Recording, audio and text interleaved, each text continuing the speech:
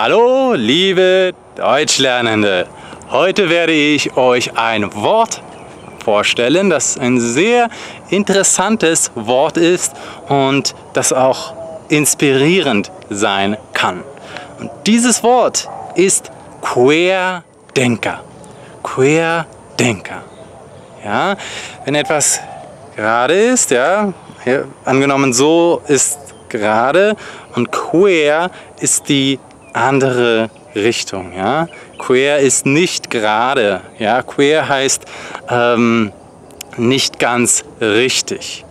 Ich kann zum Beispiel ähm, ein Feld umgehen. Ja? Hier ist ein Feld, ja?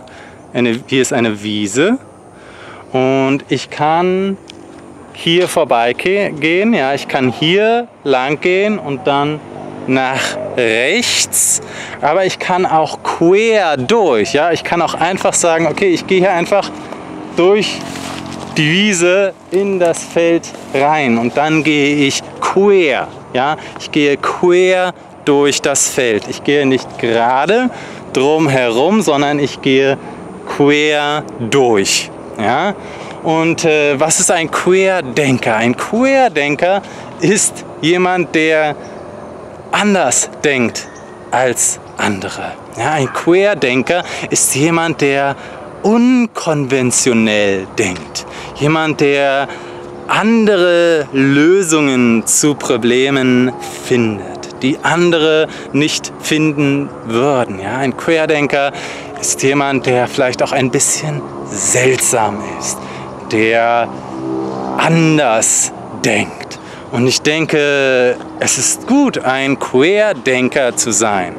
Im gewissen Sinne bin ich ein Querdenker als Deutschlehrer, weil ich dir Deutsch auf eine andere Art und Weise beibringe als andere.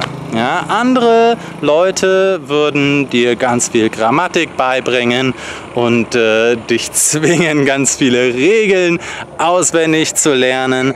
Aber ich bin ein Querdenker und basierend auf moderner Sprachforschung bringe ich dir Deutsch mit der natürlichen Methode bei. Ja, ich bringe dir Deutsch bei, indem ich mit dir rede und dann lernst du dadurch Deutsch. Ja, du lernst Deutsch, indem du das hörst, was ich sage. Und damit bin ich ein bisschen ein Querdenker.